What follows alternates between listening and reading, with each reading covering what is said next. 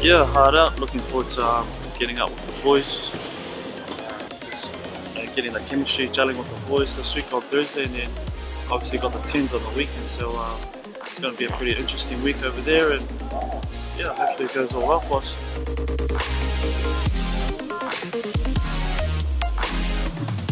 Yeah, it's been good. Uh, the environment's been pretty welcoming the last week that I've been there, so looking forward to getting over there and getting some training. Hopefully we get adapted to the heat pretty quickly.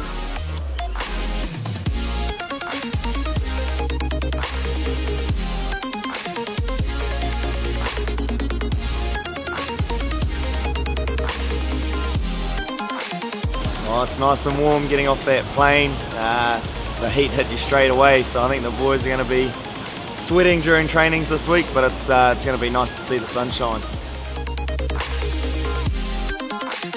Yeah, I think on Thursday I'll, I'll make sure the boys are well hydrated during that pre-season game. Uh, it's obviously going to be uh, yeah, pretty much the first hit out of the year, so the boys will be uh, pretty keen to, to start well, and I'll make sure they're well hydrated throughout.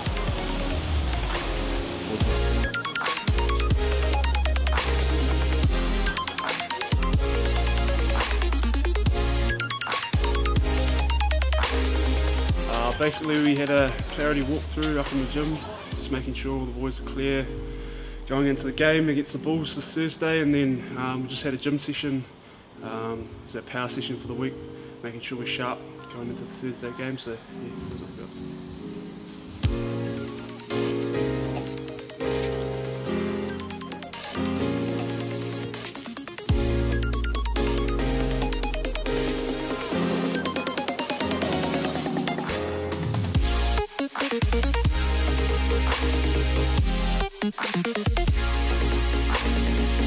just spent the last few days on the Gold Coast, but today we headed north to Brisbane.